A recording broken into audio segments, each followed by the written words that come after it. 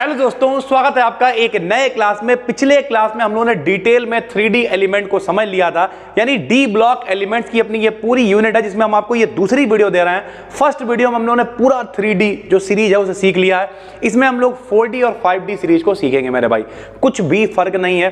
Three वाले भी भैया डी ब्लॉक वाले हैं, फोर डी वाले भी डी ब्लॉक वाले हैं, यानी वो भी कैटालिटिक प्रॉपर्टी शो करते थे, ये भी शो करेंगे।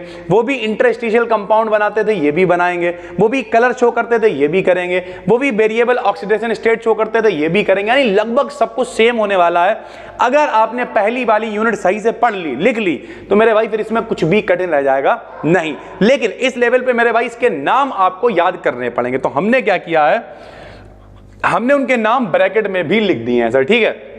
उनतालीस से लेके 48 तक 4D सीरीज़ होती है और सत्तावन से लेके 80 तक मेरे भाई होती है 5D सीरीज़ जैसे 80 नंबर मरकरी है 79 नंबर क्या है? गोल्ड है 47 नंबर क्या है? बताओ सिल्वर है, यानी चांदी है, इटरबियम है जिरकोनियम है नायोबियम है मॉलीबिडनम है, ठीक है? टेक्नीथियम है रुथेनियम है रोडियम है पैलेडियम है, सिल्वर है और कैडमियम है। सारे नाम हमने यहाँ पे लिख दिए हैं, सर, ठीक है? इन्हें आप याद करने की कोशिश करें। बहुत सारी ट्रिक्स भी होती हैं इनकी, सर, ठीक है? अगर आप हमें बताओगे तो हम इसकी कोई ट्रिक भी बताओगे क्या बना ही देंगे, सर, ठीक है? लेकिन ओवरऑल ट्रिक्स से इन्हें याद कर लेना ज़्यादा अच्छी बात है। तो ये फोर वाले पूरे लिखे हुए हैं। ये पूरे पूरे कौन से लिखे हुए हैं? फाइव वाले। जैसे आपके कुछ जान पहचान वाले भी हैं। डब्ल्यू माने टंगस्टन। टंगस्टन जानते हो बल्ब में लगा होता है मेरे भाई, ठीक है? हाफनियम है ऑस्मियम है, इरीडियम है प्लेटिनम आप जानते हो गोल्ड आप जानते हो, मरकरी आप जानते हो, सर, ठीक है? नहीं भी जानते हो तो कोई दिक्कत नहीं है। इन सबको हिंदी में लिख लो, भैया, ytterbium zirconium niobium, molybdenum, technetium, ruthenium, rhodium, ठीक है? पैलेडियम, सिल्वर, कैडमियम, सब ऐसे हिंदी में लिख लो। उसके बाद गाना बना बना के याद कर लो, कोई फ़र्क नहीं पड़ता। एक अलग से हम ट्रिक भी आपको बता देंगे, सर, ठीक है? अब क्या देखो, सबसे पहले, अब ये बिल्कुल सेम चलने वाला है। सबसे पहले हम लोग क्या करेंगे, इसका इलेक्ट्रॉनिक कंफिग्रेशन हमने थ्री में भी बनाया था इलेक्ट्रॉनिक विन्यास। इसमें भी बनाएँगे, भैया इलेक्ट्रॉनिक कंफिग्रेशन तो देखो, इनका जन उसमें क्या चलता था बताओ? स्कैंडियम टाइटेनियम बैनेडियम उसके पड़ोस में 18 नंबर आर्गन आता था। आर्गन एक अक्रिय गैस होती है। Helium neon argon krypton krypton का नंबर 36 होता है। तो जितने भी भैया फोर वाले हैं, वो उनतालीस से शुरू हैं तो इसे पड़ोस में क्रिप्टन मिल जाएगा। तो हम विन्यास को बना लेंगे क्रिप्टन की फॉर्म में, ताकि मेरे भाई इतना लंबा विन्यास हमें ना ढोना पड़े। जैसे आप कोई कहे, उनतालीस का बनाओ। तो छत्तीस नंबर तो क्रिप्टन ही हो गया। उसके बाद four D one five S two बात खत्म हो गई। चालीस नंबर में बनाओ तो भैया छत्तीस तो क्रिप्टन होगा छत्तीस और दो, अड़तीस और दो, चालीस हो गए। तो इस तरीके से हम लोग क्रिप्टन की फॉर्म में बना देंगे कि भैया यहाँ तक तो क्रिप्टन अक्रिय गैस हो जाती है। इतने इनके पास फालतू है कि फोर में एक है, फाइव में टू है मेरे भाई। इस तरीके का ये सैनेरियो रहेगा सर ठीक? तो ये पूरा विन्यास बना दिया, जिसमें से देखो P D A G C D इनका क्या है? देखो four D ten, four D ten, four D ten, इनके पास कंप्लीटली फिल्ड पूरा कन्फिग्रेशन है। उसके अलावा इनको four D five, four D five इनके पास हाफ़ फिल्ड कंफिग्रेशन यानी इनके डी ऑर्बिटल भैया डी में कितने डब्बे बनते हैं? पाँच। ध्यान से समझो। ये सारी चीज़ें आपको पहले से पता होनी चाहिए, आप फाइनल ईयर में लेकिन फिर भी बता दे रहे भैया डी में कितने डब्बे बनते हैं? एक, दो, तीन, चार, पाँच डब्बे बनते हैं। तो अगर सब में एक एक इलेक्ट्रॉन है, यानी टोटल पाँच इलेक्ट्रॉन है तो ये हाफ़ फ़ील्ड कहलाएगा। और सब में अगर दो दो इलेक्ट्रॉन है तो ये कंप्लीटली फ़ील्ड कहलाएगा, यानी टोटल इसमें कितने हो जाएँगे? दस इलेक्ट्रॉन हो जाएँगे मेरे भाई, ठीक है? तो इस तरीके से इसमें ये दो हाफ़ फ़ील्ड है और बाकी क्या है? कंप्लीटली फ़ील्ड है। तो यहाँ पे हमने लिखा हुआ कि एमओ यानी मॉलिबिडनम का इलेक्ट्रॉनिक कन्फिग्रेशन ज़्यादा स्टेबल होता है। क्यों स्टेबल होता है? कि भैया, अब यहाँ देखो यार एमओ को दिखाते हैं तो मैं यहाँ लो यहाँ। बताओ कहाँ एमओ ये एमओ है, ठीक? एमओ में बाहर फाइव एस टू नहीं है बन है। क्यों है? क्योंकि फोर डी फाइव बन रहा था यहाँ पे। तो भैया एस में एक रह जाता है और डी में पाँच हो जाते हैं। क्यों? क्योंकि एक आदमी था जिसका नाम था भैया हुंड। हुंड ने कहा एक डब्बे में, ज़्यादा एक ऑर्बिटल में, ज़्यादा ज़्यादा दो इलेक्ट्रॉन आ जाते हैं। अगर मेरे भाई पूरा डब्बा भरा होगा या आधा भरा होगा तो ज़्यादा स्थायी होगा वो। तो डी में अगर पाँच भरे होंगे, इसका मतलब आधा भर गया, ये तो ज़्यादा स्थायी होगा। इसलिए यहाँ से एक इलेक्ट्रॉन यहाँ पर जम कर जाता है। सेम उसी का, वही सनेरियो यहाँ पे है कि भैया ए जी में फाइव एस क्यों है? क्यों? क्योंकि अगर यहाँ तुमने फाइव एस टू भर भी लिया तो यहाँ फोर्टी नाइन हो जाएगा और नाइन स्टेबल होगा, नहीं, दस पूरे भरे होंगे तो ज़्यादा स्टेबल होगा मेरे भाई, ठीक है? तो इस तरीके से यहाँ पे लिख दिया। उसी तरीके से विन्यास बना हुआ है मेरे भाई 5D वाले का पूरा पूरा बनाओ। इसमें क्या होता है? प्लेटिनम और AU जो है, इसमें भी भाई सेम खेल है। 6s में ज़ीरो बाकी सब में टू चल रहा है यार। इसमें ज़ीरो क्यों आ गया? इसमें वन क्यों आ गया विन्यास? क्योंकि डी में मेरे भाई टोटल दस हो गए हैं। और अगर डी ब्लॉक में पूरे एस में कितने इलेक्ट्रॉन होते हैं? दो। पी में कितने होते हैं? छह। डी में कितने होते हैं? दस। एफ़ में कितने होते हैं? चौदह। तो मेरे भैया, अगर डी में यहाँ दस आ गए तो क्यों? तो इसका मतलब ये कंप्लीटली फिल्ड हो गया, यानी ज़्यादा स्थायी हो गया। तो इस वजह बाकी सब में दो दो चल रहे हैं। सेम विन्यास इसमें कौन लेके चलेंगे? जिनॉन, क्योंकि जिनॉन का नंबर होता है चौवन फिफ्टी फोर फिफ्टी फोर तो गिन लो। देखो, चौवन और एक पचपन और दो। पचपन और दो, कितने हो गए बताओ? पचपन तो सत्तावन, ये देखो सत्तावन आ गया। फिर बहत्तर नंबर से शुरू हो जाएगा भैया, क्योंकि अट्ठावन से लेकर इकहत्तर तक तो फोर एफ़ ब्लॉक वाले होते हैं। वो हम आपको बताएँगे लेंथेनाइड क्या होता है एक्टिनाइड क्या होता है, बाकी सेम तो इस तरीके से आप विन्यास बना लोगे। विन्यास बनाने के बाद वेरिएबल ऑक्सीडेशन स्टेट उस वीडियो में भी हमने बात करी थी। अलग अलग ऑक्सीकरण संख्याएँ दिखाते हैं, जैसे C U C L two की बात करी थी।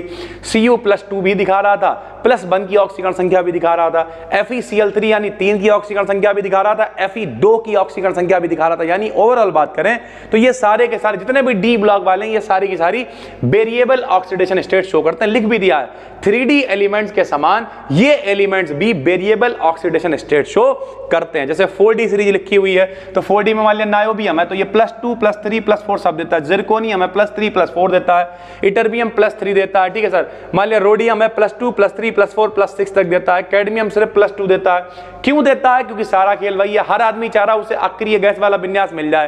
कि मान लिया क्रिप्टन का छत्तीस होता है हम छत्तीस तक पहुँच जाए तो किसी का नंबर अड़तीस है तो वो क्या करेगा? दो दे देगा। आराम से बैठेगा, सुकून से इस तरीके की चीज़ें सर, ठीक है? ऐसे फाइव सीरीज़ है।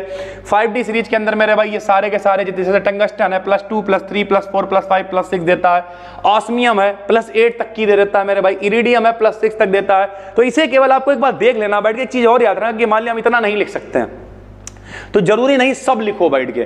कन्फिग्रेशन आप बना लो, ठीक है? उसके बाद अगर आपको लग रहा है आप सब नहीं लिख पाओगे, कोई दिक्कत नहीं है। कुछ लिख दो, जैसे गोल्ड है ए यू लिख सकते हो। A U C L three भी बना लेता है। प्लस वन भी नॉर्मल कंडीशन में देते हो। ए यू प्लस वन भी देता है प्लस थ्री भी देता है। प्लेटिनम जान पहचान वाला नाम याद रहेगा। तो कुछ की ऑक्सीजन संख्या दिखा सकते क्योंकि भैया वेरिएबल ऑक्सीडेशन स्टेट शो करता है। कुछ की दिखा दी, जैसे ए यू ये दिखाता है, जैसे हम लोगों ने थ्री में लिखी थी। सी यू भैया प्लस वन भी दिखाता है प्लस टू भी दिखाता है। तो ज़रूरी नहीं है ये सब लिखो। ये हम आपको क्यों दे रहे हैं? क्योंकि मेरे भाई, यहाँ पर हम आपको डिटेल में समझा रहे हैं, ताकि अगर आप कहीं पे पढ़ाई करो, कुछ करो तो कम से कम मेरे भाई, ये नौबत ना आए कि हमने तो पढ़ा ही नहीं है। हम तो इंपॉर्टेंट इंपॉर्टेंट पढ़ के चले गए नहीं प्रॉपर नोट्स बनाओ, सारी चीज़ें डिटेलिंग करो ताकि मेरे भाई आप अच्छे नंबर ला पाओ प्लस किसी को पढ़ाने की नौबत आ पाए तो पढ़ा पाओ कि हम जो है उस क्लास में पढ़ते थे। हालाँकि आप फाइनल ईयर में हो आपको बहुत कुछ आता होगा पहले से, लेकिन फिर भी हम कोशिश करते हैं छोटी छोटी डिटेलिंग करने की। तो मन लगा के पढ़ोगे तो फिर पूरी मौज काट दोगे भाई, ठीक है? उसके बाद कलर मोस्ट इंपॉर्टेंट उसमें भी हमने कलर बताया था, इसमें भी। तो थ्योरी आप वहीं से लिख लोगे थ्योरी ऑफ़ कलर लिखी वही है। थ्री एलिमेंट के समान फोर और फाइव एलिमेंट्स भी कलर शो करते हैं। और सबको बताइए कैसे कलर शो करते हैं। हमने आपको बताया था कि भैया प्रकाश आता है, बिल्कुल एग्ज़ाम्पल दिया था इस पेन का। प्रकाश आएगा, कुछ इसके द्वारा ऑब्ज़र्व हो जाएगा, कुछ इससे टकरा के वापस आएगा, वो हमारी आँख की रेटिना तक पहुंचेगा। रेटिना पे हमें फिर वस्तु दिखाई देगी, यही सारी चीज़ें ना तो थ्योरी ऑफ़ कलर बिल्कुल वैसे ही लिखी हुई है। सेम पीडीएफ लगी हुई है मेरे भाई, ठीक है कलर्ड ऑब्जेक्ट है व्हाइट लाइट पड़ेगी, प्रकाश हमारी लाइट पड़ेगी वस्तु पे, यहाँ से हमारी आँख की रेटिना तक पहुंचेगा। हमें कैसे दिखाई देती है कोई भी वस्तु भाई? मान लिया ये पंखा हम देख रहे हैं तो इस पंखे पे प्रकाश पड़ रहा है वो प्रकाश टकरा के हमारी आँखों तक आ रहा है, हमारी आँख की रेटिना पे पहुँच रहा है वहाँ पे उल्टा प्रतिबिंब बनता है, सबको पता है। मस्तिष्क की तंत्रिकाओं के द्वारा वो हमें सीधा दिखाई दे दिखाई दे जाता है। तो यानी इस तरीके से हमें पूरा सिस्टम दिखाई देता है। आपने सुना होगा हाईगेंस नाम का एक आदमी था ट्वेल्थ में। तो उसने कहा था हाइगेंस की तरंगिकाओं का सिद्धांत कि प्रकाश तरंगों के रूप में चलता है, वस्तु से पड़ता है, टकराता है, आँख की रेटिना तक आता है अलग अलग रंग के प्रकाश के लिए तरंगिकाएँ अलग अलग होती है तो हम लोग रंग का पहचान कर पाते हैं कि भैया ये येलो है, ये ब्लैक है, ये ब्लू है, ठीक है, ये अलग, ये रेड है। अलग अलग कलर हम लोग तभी पहचान पाते हैं क्योंकि अलग अलग कलर के लिए तरंगिकाएँ भी, यानी जो बेव अलग अलग बेवलेंथ की तरंगें चलती हैं, इस तरीके की चीज़ें होती हैं ठीक है। फिर इंटरस्टिशियल कंपाउंड उसमें भी था, इसमें भी है। इंटरस्टिशियल कंपाउंड क्या होता है भैया कुछ छोटे छोटे जैसे कार्बन फिट हो जाता था, कार्बाइड बन जाता था। हाइड्रोजन तो हाइड्राइड बन जाता था, ठीक है? नाइट्रोजन तो नाइट्राइड बन जाता था, ऑक्सीजन तो ऑक्साइड बन जाता था। तो इस तरीके से छोटे छोटे कंपाउंड जो खाली जगह होती है एटम साइज़ में पर्याप्त रूप से लार्ज होता, तब इनके क्रिस्टल में बीच में खाली जगह, यानी गैप प्रोड्यूस हो जाता है, जिसमें छोटे छोटे मॉलिक्यूल बिल्कुल वही लिखा हुआ मेरे भाई कार्बन हाइड्रोजन नाइट्रोजन ऑक्सीजन आकर फिट हो जाते तो ये मत डरना कि यार सर जी ने दूसरी पहली वाली वीडियो आधे घंटे में बताई, दूसरी वाली बीस मिनट में चले गए। मेरे भाई सेम है, आपको पढ़ना ही नहीं है हेडिंग ही सेम है भाई। इंटरस्टिशियल कंपाउंड वैसे ही बनाना, चित्र भी वही बनाओ, सब कुछ वही करो यार। आता, ये देखो, बिल्कुल वैसे लिखा है कार्बन है हाइड्रोजन है ऑक्सीजन है नाइट्रोजन सेम पीडीएफ लगी हुई है। इसी तरीके का चित्र है इंटरस्टिशियल कंपाउंड फॉर्मेशन है, जो बीच में खाली जगह होती है, उसे क्या कहते हैं? इंटरस्टिशियल गैप कहा करते थे, इन कंपाउंड को क्या कहेंगे? इंटरस्टिशियल कंपाउंड कहेंगे। तो पहले थ्री वाली वीडियो देख लो मेरे भाई, पूरा वही है सेम है। उसके मतलब क्या था बताओ? कैटालिटिक प्रॉपर्टी होती है कैटालिटिक प्रॉपर्टी में जैसे प्लेटिनम वाला दिखा दिया पैलेडियम क्लोराइड वाला दिखा दिया तो ये जितने भी हैं, जैसे थ्री एलिमेंट है तो थ्री एलिमेंट के समान फोर और फाइव एलिमेंट्स भी कैटालिटिक प्रॉपर्टी शो करते हैं। जैसे थ्री वाले शो करते हैं, वैसे फोर और फाइव भी शो करते हैं। भाई, सीधी सी बात है यार। तो अलग से नहीं दिखाना कुछ भी। भाई, लगभग सेम चल रहा है। यहाँ पे क्या थोड़ा एग्जांपल बदल देंगे। जैसे पीटी ऑब्लिक पीटीओ को एटम्स कैटालिस्ट कहते हैं, इसका रिडक्शन रिएक्शन में करते हैं। जब कभी भी रिडक्शन मतलब अपचयन वगैरह करा जाता है तो इस तरीके के हम लोग जो है उत्प्रेरकों का प्रयोग कर लेते हैं। पीटी है पीटीओ है। पीटी आर एच है को ओस्टबाल्ड प्रोसेस में एच को बनाने के लिए आपने ट्वेल्थ क्लास में पढ़ रखा है। ओस्टबाल्ड विधि से नाइट्रिक अम्ल का निर्माण अब तो जो बच्चे पढ़ रहे हैं, उनके कोर्स से हटा दिया गया ट्वेल्थ से इस साल। लेकिन पहले आपने पढ़ा हुआ ओस्टबाल्ड विधि सी स्कच विधि, संपर्क विधि, से है और पता नहीं कौन कौन सी विधि थी हैवर विधि, ये सारी विधि आपने पढ़ी डीकन विधि। उसी में से तो भैया जो ओस्टबाल्ड विधि होती है, उसमें प्लेटिनम का इस्तेमाल कर लो या रोडियम का इस्तेमाल कर लो आरएच का। सबसे अधिक catalytic properties D block element show करते हैं। सभी ट्रांजिशन एलिमेंट्स एक रिमार्केबल कैटालिटिक प्रॉपर्टी शो करते हैं। वही चीज़ लिखी हुई जो शॉर्ट में आपसे पूछी गई है। डी ब्लॉक एलिमेंट के पास खाली डी ऑर्बिटल होते हैं, जिनसे इनके पास लोग आके छुड़ जाते हैं। कैटालिटिक प्रॉपर्टी शो करते हैं। इनके पास फ्री बैलेंसीज प्रेजेंट होती हैं, जिससे ये किसी से भी कनेक्ट आ जाते हैं, इनका कंसेंट्रेशन बढ़ जाता है। वही सारी चीज़ें लिखी हुई हैं। जेड है सी है एच है, इनके जितने भी डी ऑर्बिटल्स होते हैं, ये कोई कैटालिटिक प्रॉपर्टी शो नहीं करते। पिछली वीडियो में हमने बताया था, क्योंकि जिंक के पास मेरे भाई क्या होता है? कंप्लीटली फिल्ड डी ऑर्बिटल होता है। डी में पूरे दस होते हैं, ये बाबा आदमी है, ना किसी को लेते हैं, ना किसी से देते हैं, कोई मतलब नहीं रखते हैं मेरे भाई। तो इस तरीके की सारी चीज़ें हैं। मैग्नेटिक प्रॉपर्टीज़ बिल्कुल सेम वैसे ही आप लिखोगे।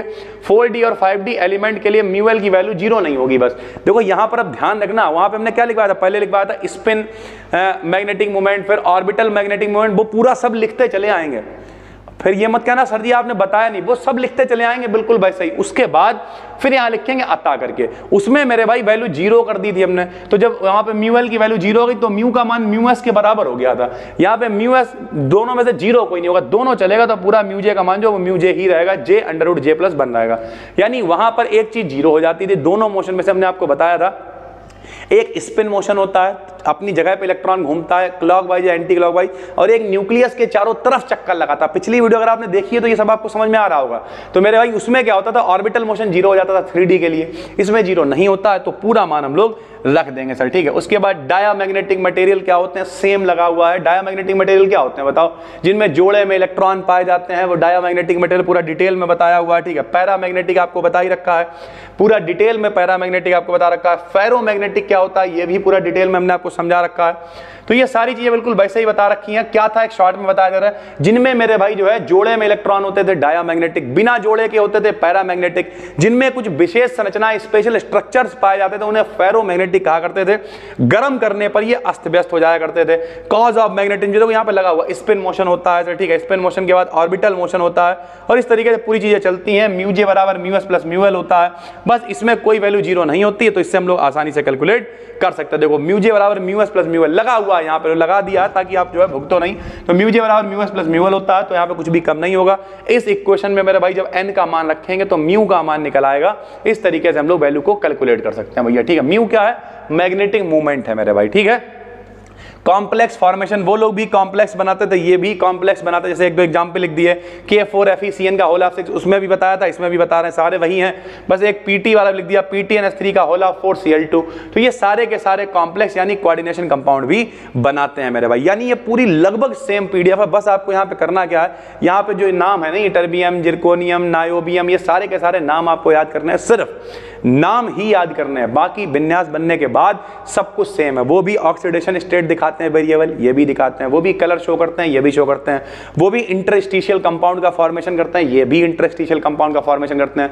वो भी कैटालिटिक प्रॉपर्टी शो करते हैं, ये भी कैटालिटिक प्रॉपर्टी शो करते हैं। सब कुछ बिल्कुल वैसे ही चल रहा है। कॉज ऑफ़ मैग्नेटिज उसमें भी दो थे मैंने भाई ऑर्बिटल मूवमेंट और मैग्नेट यानी स्पिन मूवमेंट लेकिन उसमें म्यूएल की वैल्यू आखिरी में ज़ीरो हो जाती है, क्योंकि थ्री वालों के लिए ऑर्बिटल मूवमेंट की मैग्नेटिक मूवमेंट की वैल्यू ज़ीरो है।